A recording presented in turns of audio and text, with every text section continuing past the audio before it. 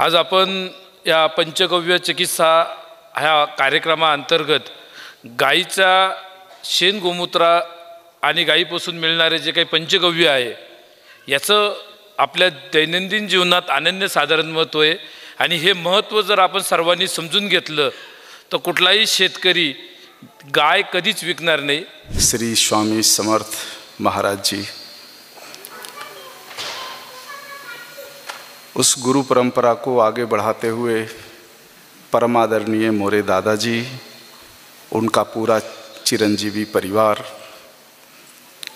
आप सभी को मेरा नमन है। जितना भी स्वास्थ्य से संबंधित ग्रंथ लिखे हैं, इन ग्रंथों को जब हमने टटोला तो उसमें गाय का उपयोग इतना ज़्यादा था कि अगर इन सबको एकत्रित करके और एक अलग से यदि एक संहिता बना दी जाए तब वो दुनिया के किसी भी मेडिकल साइंस पर भारी पड़ सकता है। हम जो श्वास लेते हैं ना, कितना ऑक्सीजन पीते, और 24 घंटा में कितनी बार श्वास लेते, ये सारा गणित अगर बैठाओगे आप तो गणित आएगा कि 250 लीटर।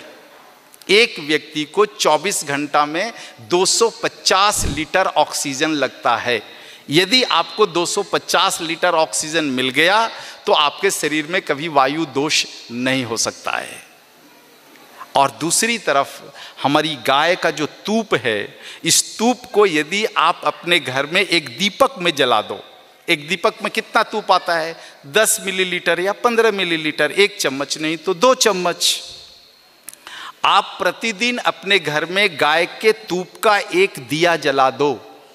ये मेडिकल साइंस की रिपोर्ट में कहता हूँ कि वो दिया बुझने के तीन घंटे के बाद आपके घर के वायु में एक परिवर्तन होगा।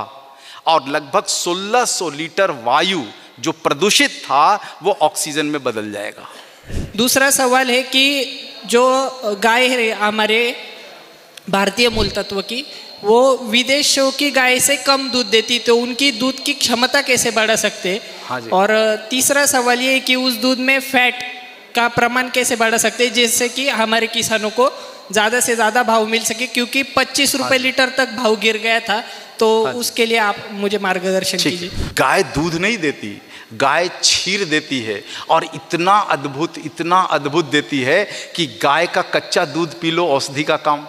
गर्म करके पी लो औषधि का काम। दही बना के खा लो औषधि का काम। उसका ताक पी लो, औषधि का काम। लोनी खा लो, औषधि का काम। उसका घी बना के खा लो, औषधि का काम।